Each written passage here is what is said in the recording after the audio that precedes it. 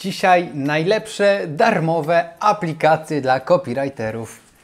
No dobra, nie wiem czy są najlepsze, ale na pewno są dobre, na pewno są fajne. Wybrałem takie, które mogą Ci się przydać, które Cię zainteresują, więc jeżeli ten temat jest dla Ciebie ciekawy, jeżeli jesteś copywriterem lub chcesz nim być, to serdecznie zapraszam.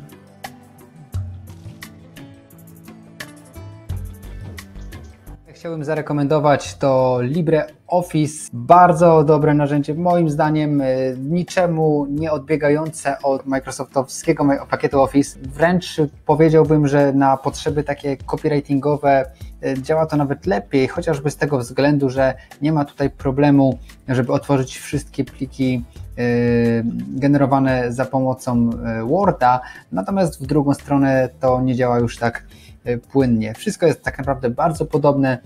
E, jeżeli umiesz posługiwać się, korzystać z tych podstawowych funkcji Worda, to również poradzisz sobie w przypadku Libre, LibreOffice'a. No i co mega ważne, LibreOffice jest absolutnie bezpłatny, można go pobrać za darmo ze strony internetowej. Tak więc e, jeżeli masz jakiś problem z pakietem Office, czy nie wiem, korzystasz może z dokumentów Google'a, mimo wszystko najbardziej rekomenduję Ci korzystanie z LibreOffice. Narzędzie drugie to Word Counter Net. Bardzo ciekawe narzędzie, które służy do analizy, yy, analizy tekstu generalnie. Wklejmy jakiś tekst, żeby zobaczyć jak to działa. Ok, tekst wklejony. No i teraz proszę bardzo, co tutaj się pokazuje? 470 słów, 3401 znaków. Y, można tutaj włączyć sprawdzanie pisowni, natomiast to łączy nas z aplikacją Grammarly. A propos tego będzie troszeczkę inne narzędzie. Natomiast to, co jest y, bardzo, bardzo ciekawe, narzędzie pokazuje, ten tekst może tutaj jest trochę rozjechany, więc, więc to nie jest idealnie zrobione. Natomiast pokazuje kilka innych fajnych parametrów, ile jest paragrafów, jaki jest poziom czytelności tego artykułu, ile mniej więcej zajmie jego przeczytanie. I to, co jest jeszcze ciekawsze, to na co szczególnie warto zwrócić uwagę przy okazji przy okazji tej aplikacji, to to, że zwraca on uwagę na powtarzalność słów kluczowych, y, czyli na przykład słowo ITSM, które jest y, bodajże nazwą temu czy, czy jakiejś firmy, ono powtarza się 13 razy, czyli w tym tekście stanowi 4% zagnieżdżenia. 4% tego tekstu to, to słowo. No i mamy 10 razy powtórzone słowo na, 7 razy czy i tak dalej. Dzięki temu można łatwo też sprawdzić, ile razy powtórzone są poszczególne słowa kluczowe w tekście. Bardzo ciekawe, jeżeli chodzi o pracę copywritera. Narzędzie trzecie to Language Tool.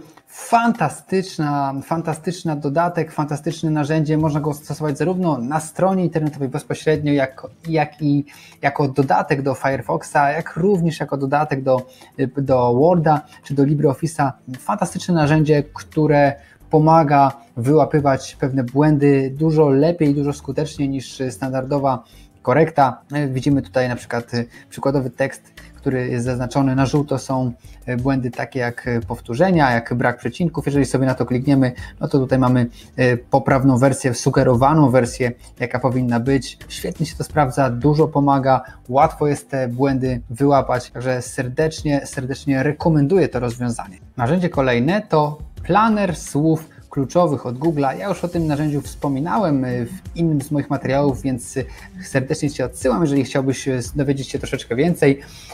Tutaj jest takie jedno małe ale, ta aplikacja jest darmowa, natomiast czy narzędzie bardziej niż aplikacja jest darmowa, natomiast w momencie, jeżeli nie mamy wykupionej chociaż minimalnej kampanii, to niestety nie otrzymamy tak dokładnych wyników. I no i wpiszmy sobie tutaj na przykład e, piłka nożna i zobacz wyniki. I dzięki temu narzędziu możemy poznać frazy kluczowe, które pomocne nam będą przy tworzeniu artykułów. No i mamy tutaj różne propozycje, jak na przykład ekstraklasa, wyniki, piłka nożna, piłka nożna na żywo, Liga Polska i tak dalej. Oczywiście to jest bardzo ogólne słowo. Jeżeli chcielibyśmy pisać jakiś artykuł, no to warto byłoby skupić się na jakiejś węższej niszy, e, czyli na przykład e, buty piłkarskie, pach, zobacz wynik. No i mamy tutaj e, konkretne słowa kluczowe, korki piłkarskie, korki Adidas Predator, buty korki, i tak dalej, i tak dalej, korki profesjonalne. No i widzimy, jaka jest konkurencja, jaki jest trend wyszukiwania, jeżeli to jest jakaś fraza sezonowa, jaka jest stawka mniej więcej za to i tak dalej. Jeżeli natomiast nie mamy wykupionej tej minimalnej kampanii na Google Ads rzędu, no nie wiem, 3 zł dziennie, to zobaczymy tutaj zamiast dokładnych wyników przedział, przedział w takim przypadku będzie to od 1 do 10 tysięcy, więc nie jest to niestety zbyt dokładne. Mimo wszystko, jeżeli nie masz żadnego dostępu do narzędzia, to warto rozważyć chociażby to. A jeżeli interesuje Cię temat narzędzi do poszukiwania słów kluczowych, to zostaw taką informację, przygotuję na ten temat dedykowany odcinek. Ok, jesteśmy w połowie. Kolejna propozycja to jest strona ileliter.pl. Naprawdę bardzo fajna, bardzo prosta strona.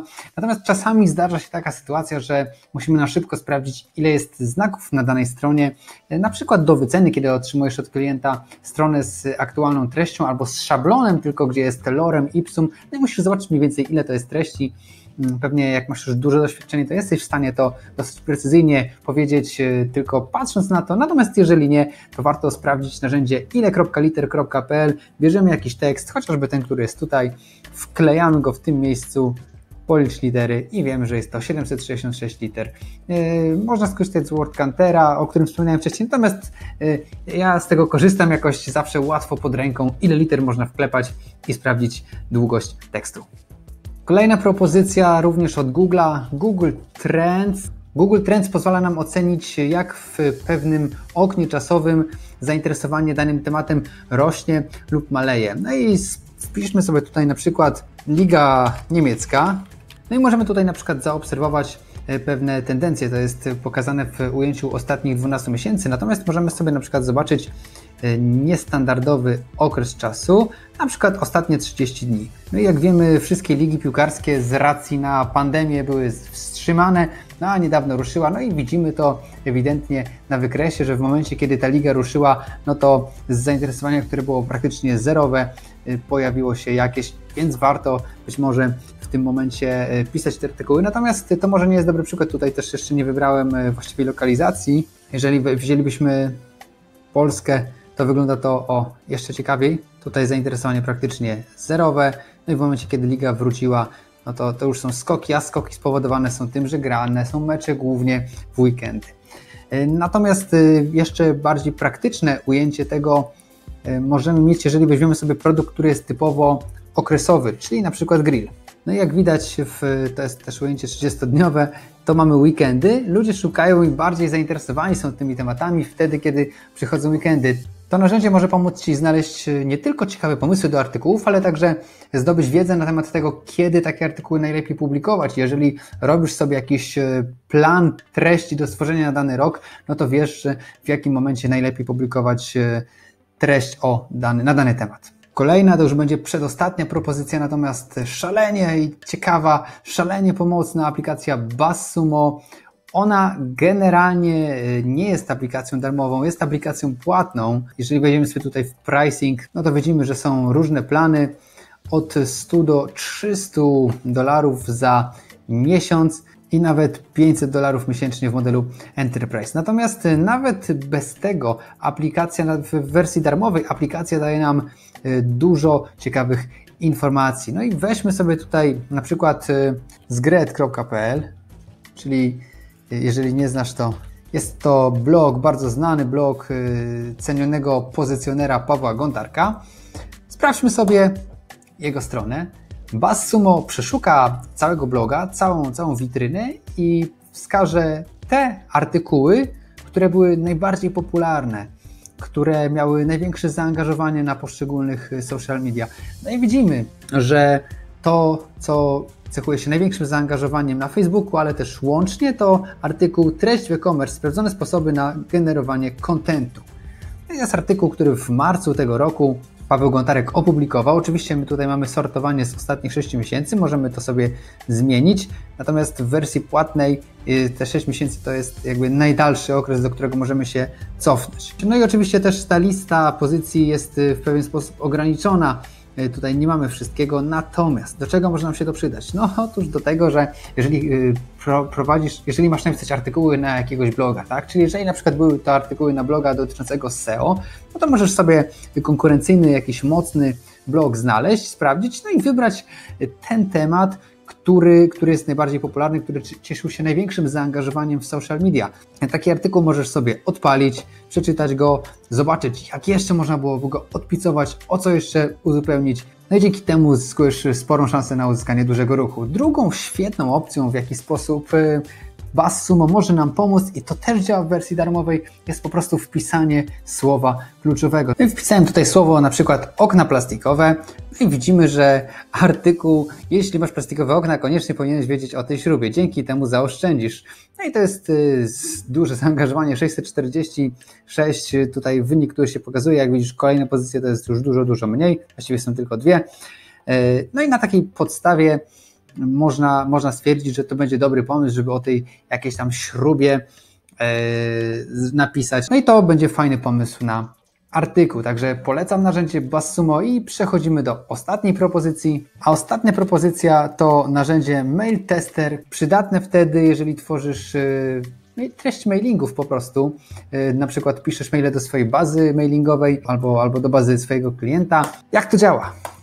Piszemy, przygotowujemy całego maila, kopiujemy ten adres, wysyłamy wiadomość próbną poprzez system mailingowy na adres, który mamy tutaj. Przechodzimy do kroku następnego, sprawdź wynik. E, tam tego maila oczywiście wysyłamy, no i ten mail jest analizowany i tutaj otrzymujemy wynik. Wysyłamy taki mail, no i tutaj e, w momencie, kiedy on jest wysłany, e, to sprawdzanie się kończy i dostajemy bardzo konkretny feedback, na ile w skali od 0 do 10 nasz mail jest spamowy.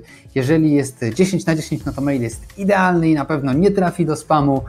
A jeżeli ta ocena jest niska, no to jest dużo większa szansa, że trafimy do spamu, ale też są dodatkowe, konkretne informacje, co warto byłoby poprawić y, w tym mailu, żeby jego rating był wyższy. Także kolejna fajna opcja, zupełnie bezpłatny mailtester.com. To już tyle, 8 na 8 narzędzi. Dzięki i jeszcze dwa słówka, kiedy odejdę od komputera. No i na zakończenie jeszcze jedna malutka uwaga ode mnie. E, darmowe aplikacje są fajne, warto z nich skorzystać, natomiast e, warto rozważyć zakup przynajmniej jednego płatnego narzędzia, a chodzi tutaj o plagiator. Nie ma, a przynajmniej ja nie spotkałem się z dobrym, bezpłatnym e, systemem antyplagiatowym. Jeżeli o takim słyszałeś, to koniecznie daj znać w komentarzu.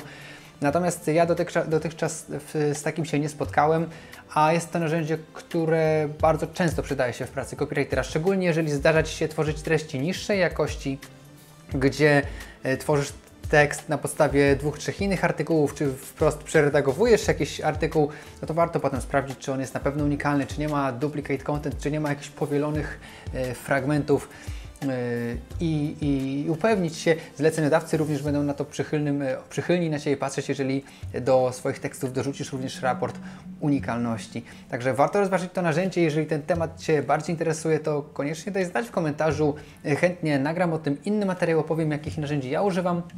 I generalnie, jeżeli interesują Cię te aplikacje, jeżeli chcesz poznać również moje rekomendacje, e, jeżeli chodzi o aplikacje płatne, bo takich jest naprawdę sporo na czele z popularnym e, surferem SEO, to koniecznie e, daj znać w komentarzu.